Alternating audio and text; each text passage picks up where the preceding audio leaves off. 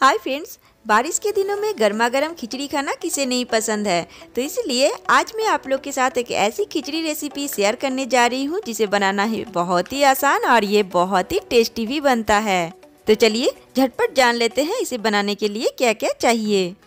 तो खिचड़ी को बनाने के लिए मैं यहाँ पे ली हूँ कुछ वेजिटेबल्स तो वेजिटेबल्स में से मैं यहाँ पे ली हूँ टमाटर बीन्स हरी मिर्च, गाजर और फूल गोभी इसके अलावा मैं एक छोटे साइज़ का प्याज भी ली हूँ।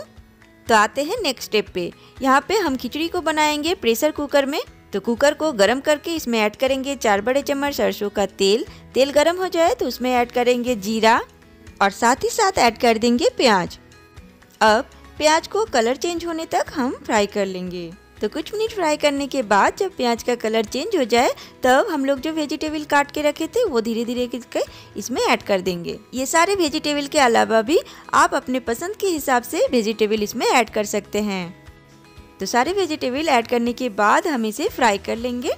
तो गैस का फ्लेम हाई टू मीडियम में रख के इसे हम फ्राई कर लेंगे और उसके बाद इसमें हम ऐड करेंगे स्वाद अनुसार नमक, आधा छोटी चम्मच हल्दी पाउडर आधा छोटी चम्मच कश्मीरी रेड चिली पाउडर और एक चौथाई चम्मच गरम मसाला। तो मसाला ऐड करने के बाद सारे सब्ज़ी साथ इसे थोड़ा सा चला लेंगे। उसके बाद जो टमाटर हम लोग काट के रखे थे, वो भी इसमें ऐड करके इसे हम मिक्स कर लेंगे। तो थोड़ा सा चला के इसे हम कुछ मिनट फ्राई होने के लिए रख देते हैं। तब तक आ जाते हैं नेक्स्ट स्टेप पे। तो अब हम लेंगे एक बोल उसमें ऐड करेंगे एक कप चावल और उसी कप में हम लेंगे एक कप मूंग की दाल। अब चावल और मूंग की दाल को अच्छे से हम साफ़ कर लेंगे। तो इस तरह से दो से तीन बार पानी से हम इसे क्लीन कर लेंगे। उसके बाद ये जो पानी है, इसे ड्रेन आउट कर देंगे। तो हमारा दाल और चावल धुल के बिल्कुल रेडी हो गया है। तो अब हम इसे भी वेजिटेबल के साथ ऐड कर देंगे।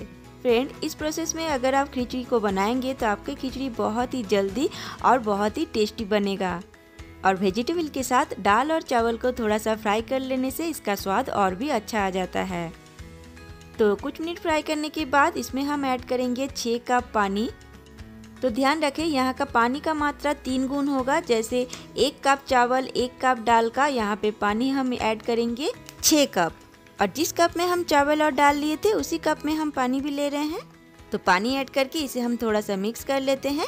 उसके बाद कुकर का ढक्कन लगा के इसे दो से तीन सीटी आने तक कुक कर लेंगे। उसके बाद गैस को कर देंगे ऑफ़ और इसे ठंडा होने के लिए छोड़ देंगे। और जब ये ठंडा हो जाए, तब कुकर का ढक्कन हटा के इसे हम चेक कर लेंगे। तो अगर आपको ड्राई खिचड़ी पसंद है तो ये वाली खिचड़ी एकदम परफेक्ट बना है, लेकिन हम थोड़े से पतला खिचड़ी पसंद करते हैं तो इसके लिए थोड़ा सा हम इसमें ऐड करेंगे गर्म पानी। गर्म पानी ऐड करने से ये अच्छी तरह से मिक्स हो जाएगा, लेकिन ठंडा पानी अगर ऐड करेंगे तो इसका टेस्ट भी खराब हो जाएगा और अच्छी तरह से मिक्स भी नहीं होगा। तो बस, हमारा खिचड़ी बन के रेडी अब है तड़के का बारी। तो अब हम इसमें ऐड करेंगे एक बड़े चम्मच घी। और घी को होने देंगे मेल्ट घी मेल्ट हो जाए तो इसमें हम ऐड करेंगे थोड़ा सा जीरा और ऐड करेंगे बारीक से कटा हुआ लहसुन। लहसुन जब हल्का सा कलर चेंज हो जाए, तब हम ये जो तड़का रेडी करके रखे हैं, वो खिचड़ी में ऐड कर देंगे।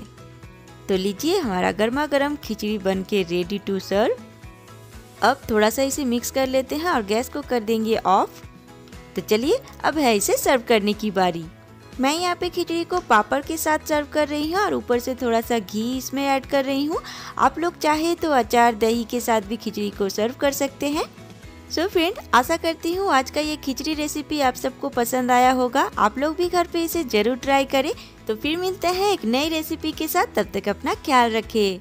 लेकिन जाने से पहले स्क्रीन पे जो आलू का अचार देख रहे हैं, ये अचार इस खिचड़ी साथ बहुत ही टेस्टी लगता है। आप लोग एक बार उसे ज़रूर चेक करें। आशा करती हूँ पसंद आएगा। Thank you